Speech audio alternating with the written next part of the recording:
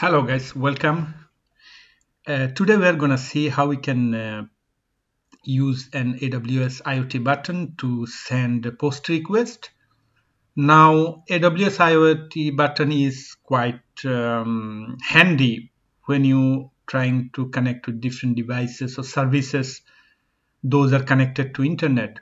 So you can do pretty much everything uh, to control or monitor a device or send notifications, emails, or HTTP requests to your services.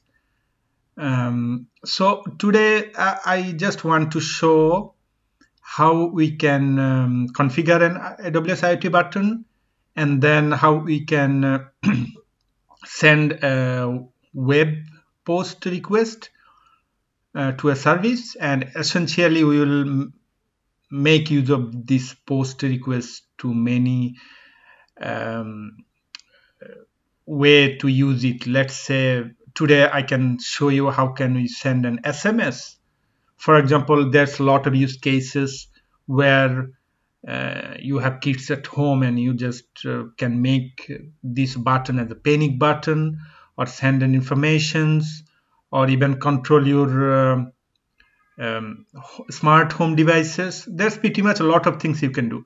So here is the diagram I have drawn uh, to show how we are going to work today. So the first thing we are going to do is uh, uh, we are configuring the AWS IoT button and then uh, when we press the button it should trigger a lambda functions. And this lambda function will uh, make a post request to a web service uh, in this case, I'm using the IFTTT website where they have uh, nice uh, applets you can use. Um, and then these applets can make different uh, notifications or they are connected to different services. And then uh, these webhooks from the IFTTT will send an SMS. So let's start it. So first thing first, here I'm in my browser. I'm going to write ifttt.com and this website is here. It stands for if this then that, meaning that if you do something, what it shall do. So you need to create an account here. Of course, I have created uh, mine. So first thing we are gonna do is uh, we are going to new applet. So as you might see that if this so you have to define what can be invoke the trigger.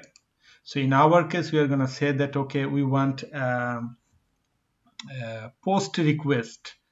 And in that case there is a nice app called uh, webhooks we are going to find this one. Here it is. It was previously named maker. You may have heard about maker app so uh, they changed the name.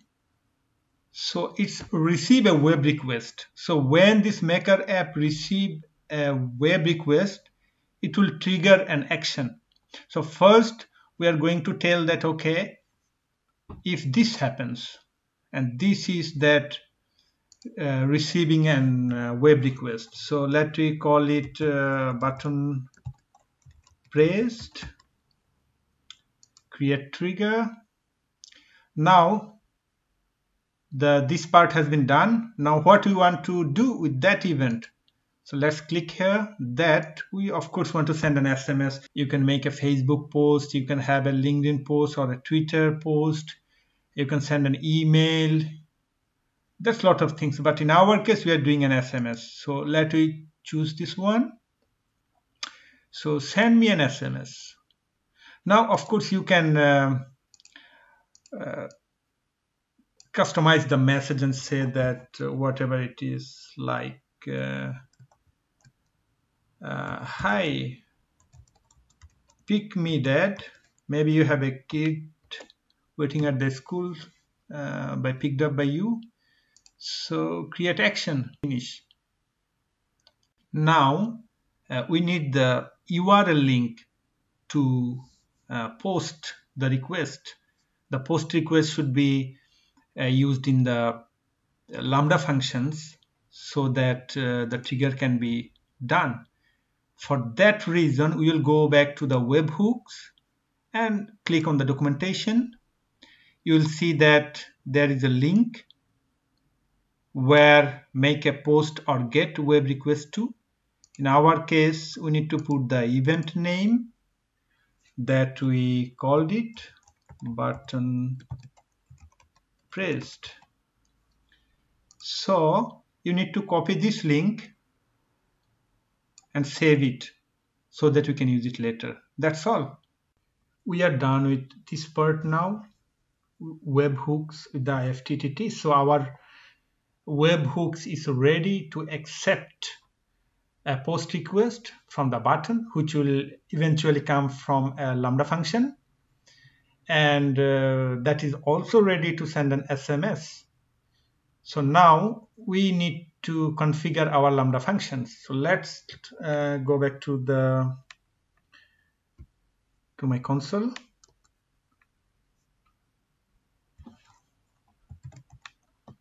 I'll open the command line. And first I'm gonna create um, okay let me check if I have uh, uh, the node.js so you, you, should check if you have uh, node installed in your machine.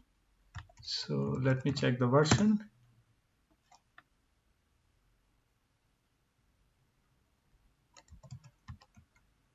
Sorry version. Yes I got the 10.14.1 um, now let me make a directory. Let me call it uh, IoT button IFTTT and change the directory to that button IoT button IFTTT. Now I'm gonna open this uh, folder from my Visual Studio Code. You can use whatever uh, IDE you like to use. So code.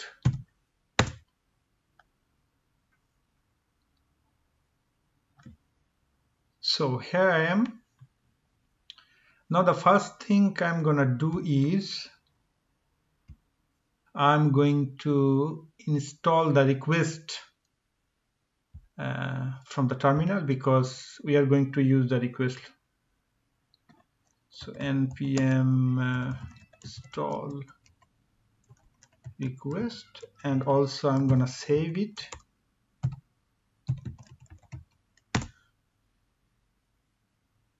Yes, started installing. It's done as you might see that we got the node module and the package. Now I'm going to create a, a new file which can be index.js this is the function we are going to use. So this is quite a simple function. Our uh, primary goal is to send a post request and that's all because we really don't need to create uh, uh, pass any message itself. Just a ping can be good enough. So we are exporting handler.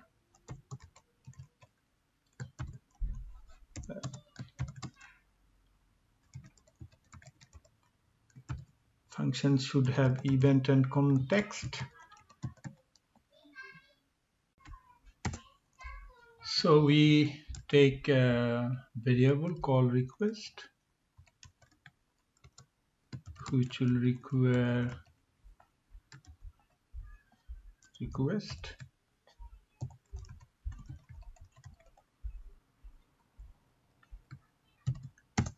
and then we will use this variable to make the post and uh, we will have two um, input here.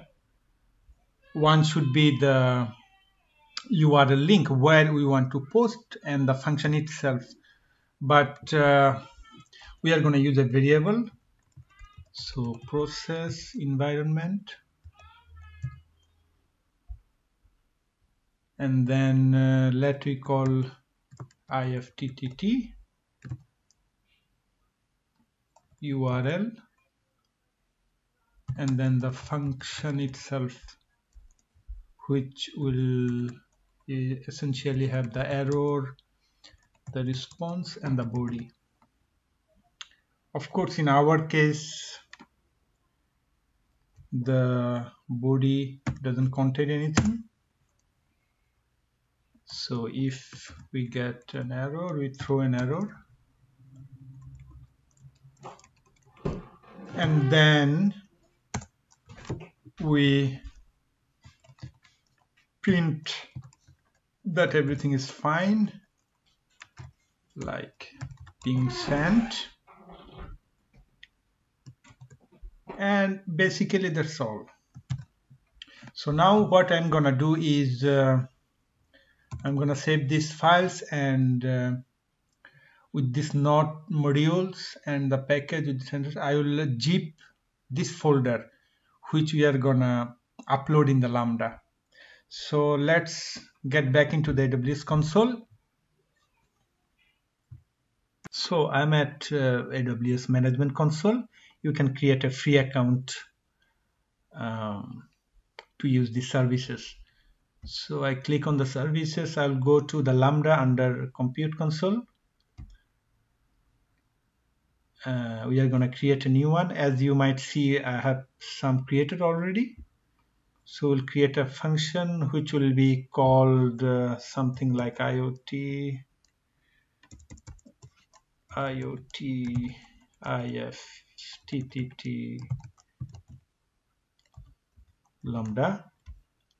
I'm using Node.js I can use an existing role. If you don't have created a role already, you can just click here and create an existing role and Lambda will uh, be essentially assume that role to perform necessary steps.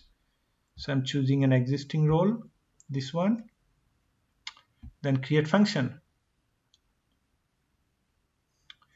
So we have created the function. As you see, we got a nice looking built-in IDE provided by AWS but we are gonna upload the file that we created in Node.js. The file is here, the zip file. Uh, then we can just save it.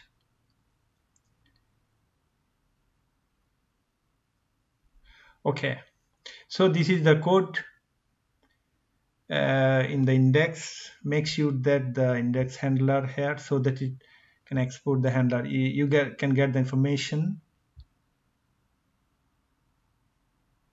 uh, about so the index handler calls the export handler in index the javascript file. As you might see that we are uh, passing the URL in the variable this is simply because the best practice because you might share your code in github and many places and you don't want to uh, use your key uh, you don't want to expose it. So it's always a good practice to use an environment variable. And here is the variable we need to put. So that was uh, ifttt url and the value should be the URL itself where we need to post. So pretty much that's fine. Uh, the role and description. Yes here you might see that the timeout is three second. So sometimes it may take more time for lambda to perform the job. In that case you will get an uh, that case you can always increase the timeout like 10 seconds 5 seconds whatsoever. Uh, so we are going to save this.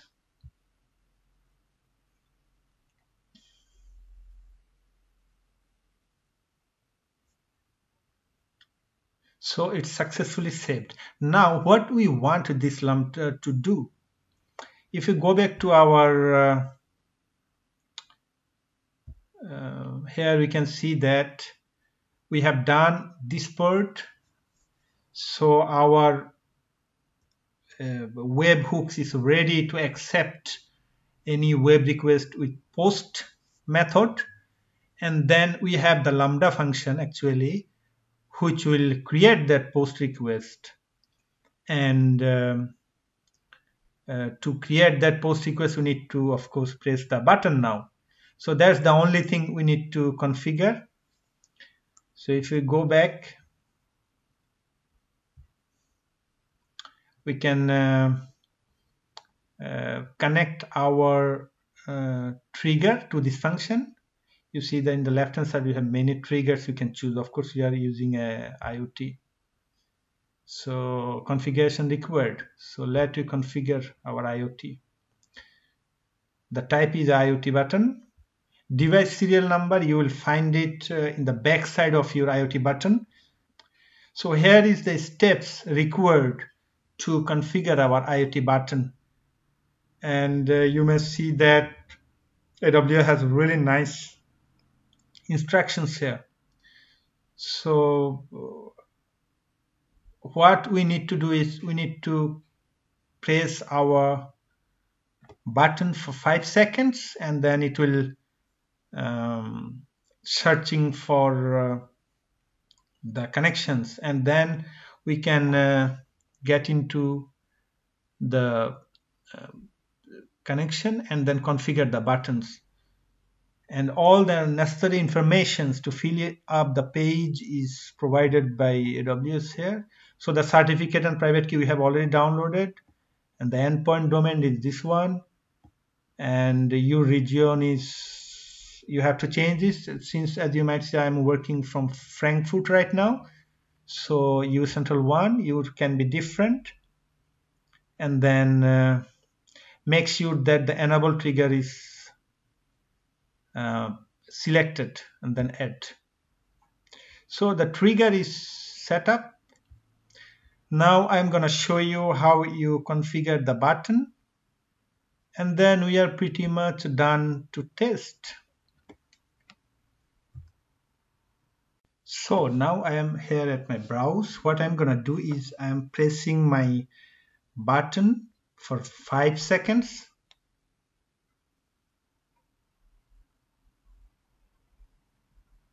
Now the blue light flashing so what you need to do then, you need to go to your network connections and find the IoT button. As you might see this one, button configure me. So you'll choose this one and connect. Yes, uh, we are connected now. What I'm gonna do is 192.168.0.1 so here is the button configure me. Now all the information required have been provided. The first one is your uh, internet of course uh, mine is called 4G mobile Wi-Fi SSID and uh, if you have any password for that one that should be put in here. And the certificate private key we just downloaded from the AWS site that should be uploaded here. And then the endpoint is also provided by the AWS and here you can see the region. In my case is ucentral1 and then click this and then configure. So we are done with the configuration. So let we test. So let's try now. Here I got the button. I'm gonna click it and let's see if everything works fine